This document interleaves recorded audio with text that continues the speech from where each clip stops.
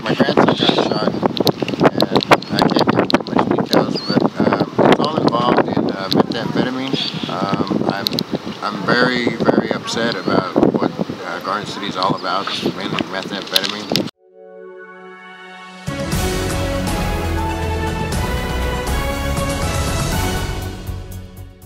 What happened here is uh, another demonstration of um, drugs, especially methamphetamines. Uh, people think they can get away with it.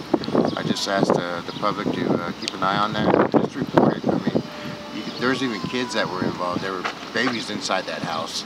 So what what what effect would that uh, do to the to the little ones? You know, the parents are in San Angelo, Texas. Yeah, he's my that's my oldest son's son, and they're in San Angelo, Texas. Have they been told yet? Yes, they have.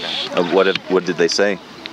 Uh, well, they're in shock, pretty shocked. They we can't were. believe it, and he was my oldest son's son.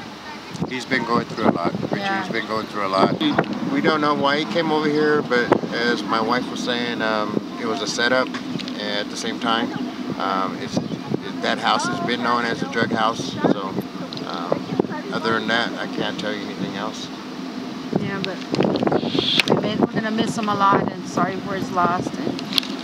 I mean, I just want to get that drug off the street, you know, because I've been through it with one of my children, and it's not a good deal, you know, what comes out of it. And I just hope everybody, you know, stops it, you know. And, uh,